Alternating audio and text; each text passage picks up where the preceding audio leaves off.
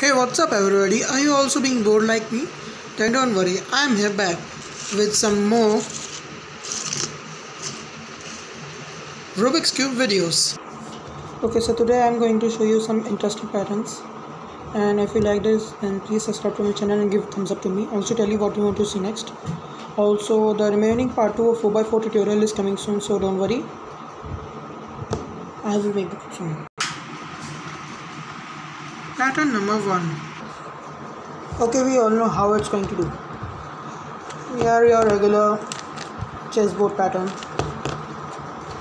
Simple. Flip it, then flip this one, and then flip this one. Voila, you have your chessboard. Just reverse everything. Come at back, and voila, you have your bear.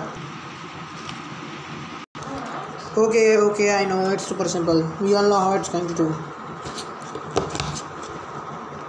Damn it, damn it, damn it, damn it, damn it. Boom, back.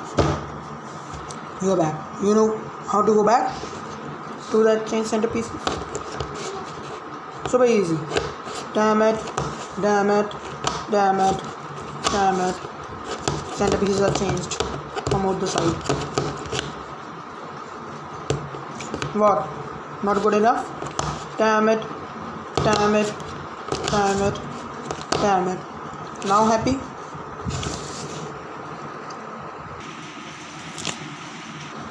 Okay, so this one is kind of interesting, I would say. For that, you have to just follow me.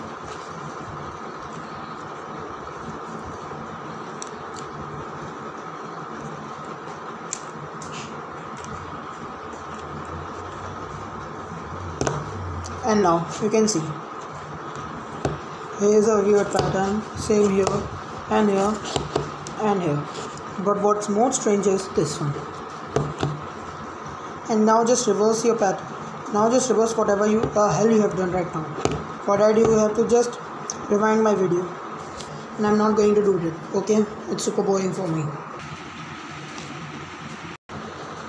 okay this one is kind of interesting. You can see what's happening here. Just like previous one but this time everything is aligned totally. Now how are you going to do this? Let me explain that. Do the same set of move which i'm doing right now.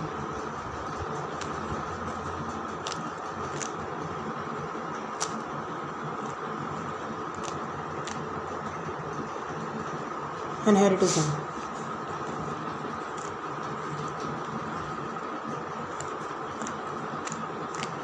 and here it is wrong let me tell you again. Hold on let me tell you again.